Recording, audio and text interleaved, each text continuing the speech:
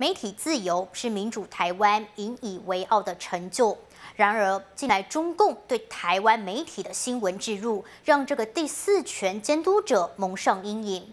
大众传播媒体揭露中共人权迫害、中国贪腐民怨，已经变得敏感艰辛。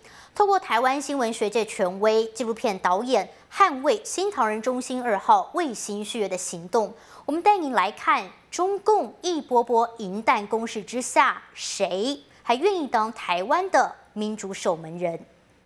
手机、电视、报纸多管齐下，台湾民众每天大量接触新闻，但看似多元的内容，其实有道深深的红线。对大陆那个贪腐案件的台湾的报道，贪腐很多嘛，对不对？多到我想台湾每天报都报不够了哈。一个报纸一整年报道不到十件，不到十件哈，非常的少。台湾新闻学权威张锦华点出，大量消失在台湾观众前的中国真相新闻。二零一二年，他公布研究，以量化分析指出，中共省长团夸张式的在台湾做新闻置入，伤害台湾的新闻专业。一旁表示认同的是台湾知名纪录片导演李慧仁，因为揭露禽流感疫情拿下卓越新闻奖。他告诉大家，中共银弹下，媒体也有不能戳的秘密，是中国的红线，不能讲，不能碰，因为我们还要做叶配。对不对？红线在哪里？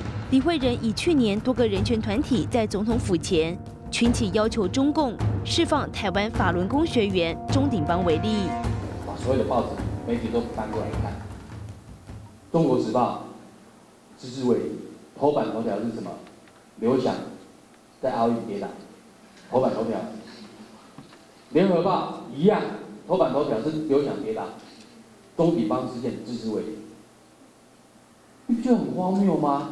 台湾公民被非法拘禁，是为台湾民众的人身安全比不上中共推捧的奥运明星。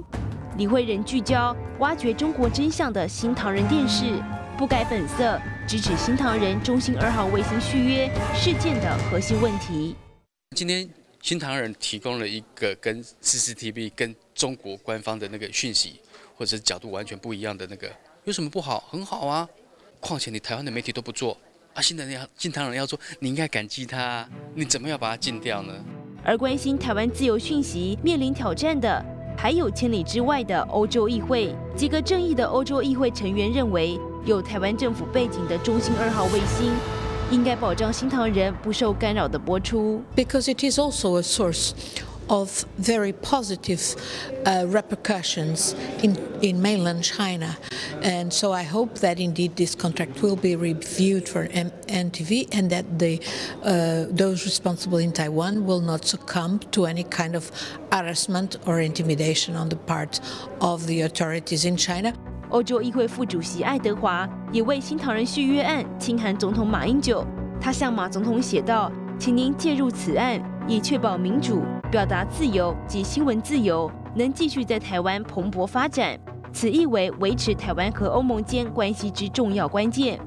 台湾的媒体学者与中国问题专家也在新唐人的节目中抛问：独立媒体突破中共封锁，真相传播的影响力，台湾政府看到了吗？马总统自己说的是，他这样他这么做的目的是为了拉近两岸人民的距离。